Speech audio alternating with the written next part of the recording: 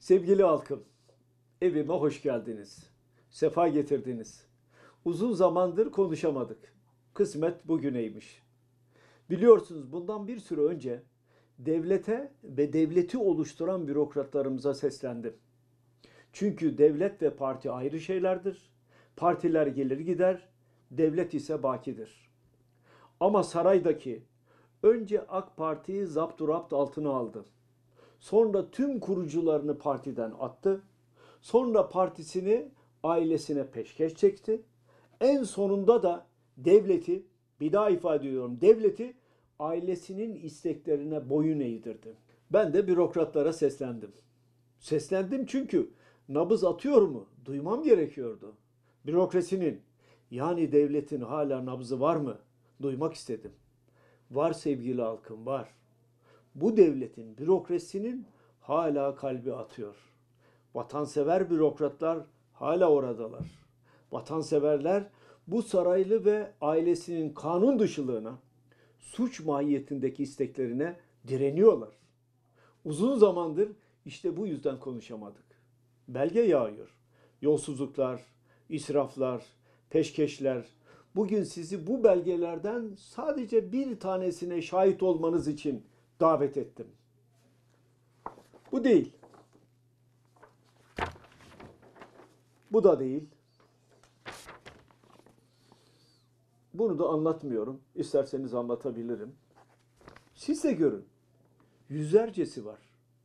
Bazıları bizzat saraydaki şahıs tarafından imzalanmış. Görüyorsunuz değil mi? Bu şerde şöyle bir hayır var. Beytülmale el uzatan bu belgelerin arkasında kim var? Hepimiz görüyoruz. Peki bir belgeyi anlatayım. 3 Nisan 2018 bir açık ihale yapılır.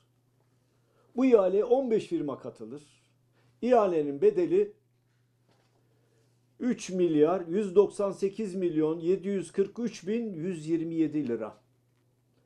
Ama kazanan firmaya bu ihale verilmez. Neden? Çünkü beşli çeteten değil. Bu nedenle ihale iptal edilir ve aynı iş yeniden ihale edilir.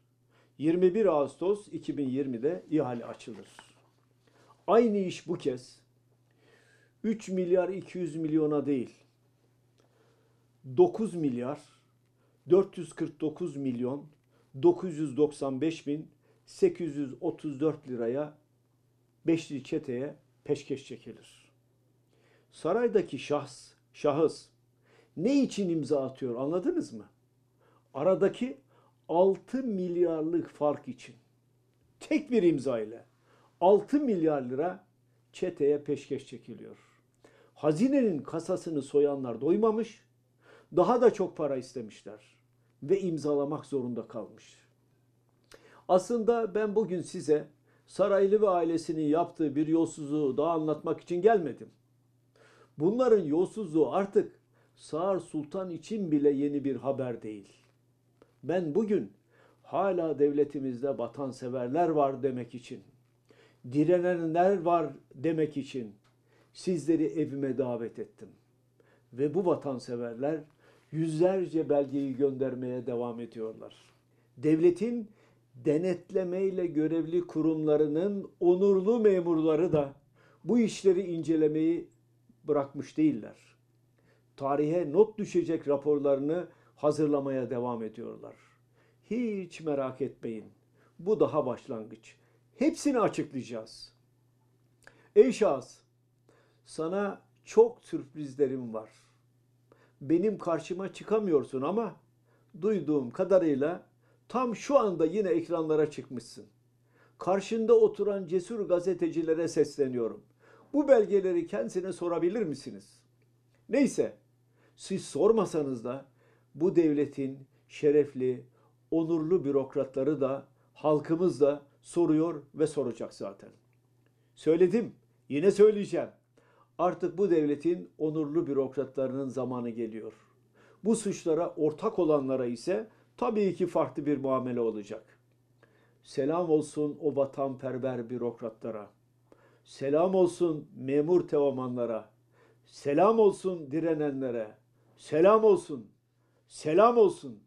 Selam olsun.